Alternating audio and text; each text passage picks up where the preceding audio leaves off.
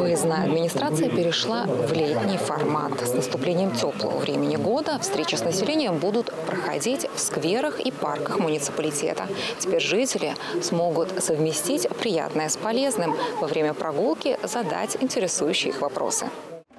Дедылдинский парк стал площадкой для проведения выездной администрации. Место встречи было выбрано не случайно. Новая благоустроенная зона отдыха быстро стала популярной для прогулок среди жителей шестого микрорайона. Ну, действительно, в этом парке а, благоустроено и детские площадки, площадка для дрессировки собак, дорожки пешеходные, а, даже для занятия воркаутом, и теннисные столики, и беседки, смотровая площадка, уличное освещение.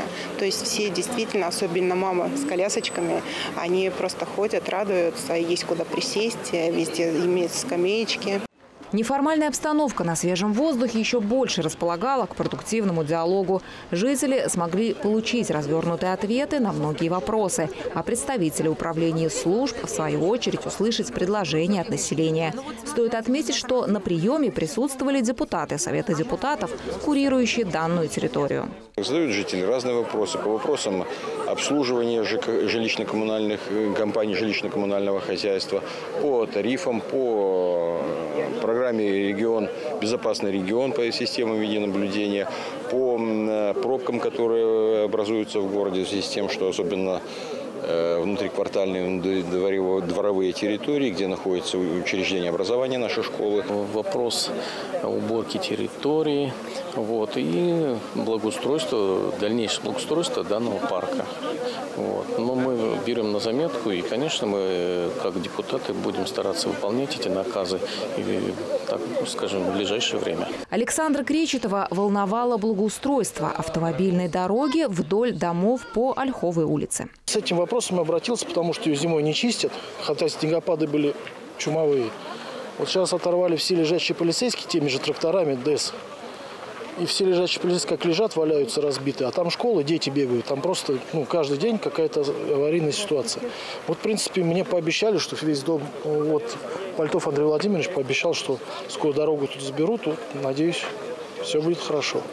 На встрече побывали жители и из центральной части города Видное. Татьяна Семенова в беседе с заместителем главы Эдуардом Арадушкиным смогла разобраться в вопросе по установке камеры видеонаблюдения около пятого дома по советскому проезду.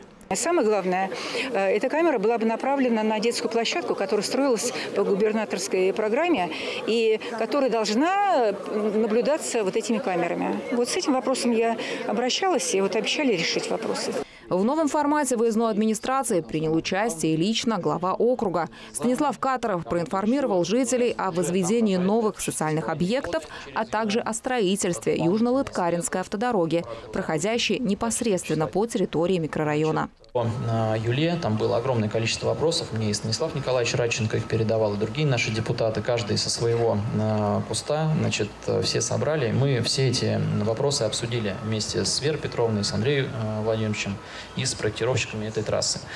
Часть из этих э, поручений наших жителей будут учтены. Э, не все, к сожалению, но мы еще встречи проводить будем продолжать. Глава во время встречи успел ответить на поступающие вопросы и дать поручения по многим темам своим заместителям. Жители, в свою очередь, поблагодарили руководство округа за работу. Подарили нашим жителям ко Дню России, открыли нам пешеходную тропу, просто великолепную просто очень хорошие. Спасибо за теплые слова, Алла. Спасибо за теплые слова. Огромное На самом деле спасибо. здесь я хочу вам сказать спасибо за конструктивный подход.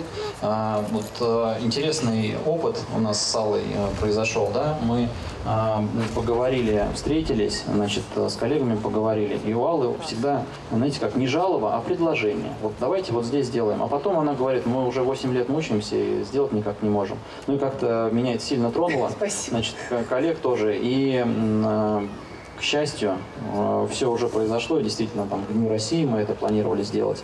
Э, Алла, вам спасибо за именно вот такой подход. Наталья Буслаева, Александр Логинов, Ольга Садовская, Видное ТВ.